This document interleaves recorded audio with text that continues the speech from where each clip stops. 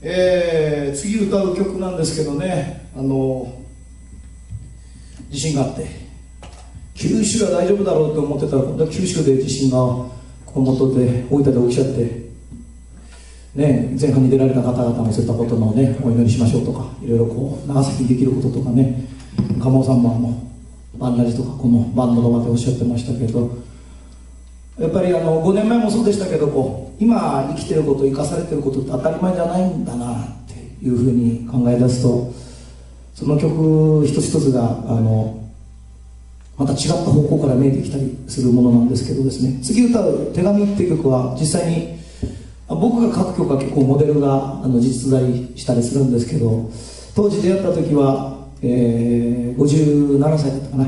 56歳か57歳の時の石田照代さんっていうねあの主婦の方と出会って旦那さんと6人の子供がいるあの平戸の宝木地区ってところの出身のお母さんなんですけどですね。ALS という難病と今も戦ってらっしゃって今はカータナの方の医療センターに入院している方なんですけどですね。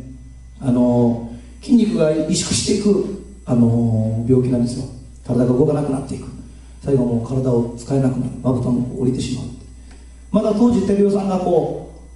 う噛む力ができてでここにチューブをつけてこう噛むことで打てるパソコンがありましてそれでメールのやり取りを個人的にさせていただいてた時にとある11月でした。非常に寒い日でで僕は当時にまだ名古屋に住んでたんですけどもこういったメッセージが来たんですねメールで「喜一郎君すすきの葉ってすごいわね」って。私今日ドクターと一緒に、えー、電動車椅子ですけどね病院の周りを散歩しました。すすきの葉ってすごいわね。ってあの冷たくて強くてあんな厳しい風を受けて一回は揺れるけどその風が通り過ぎてったらしなやかにそこにまた戻っていく。あんな柔軟で強い心を持った人間に私もなりたいわというメッセージをですねいただきまして病気で闘病なさっていることもそうなんですけども、えー、そのメッセージが非常に胸に突き刺さりましてそれに感銘を受けてそのメールが元でできた曲です、えー、手紙聞いてください。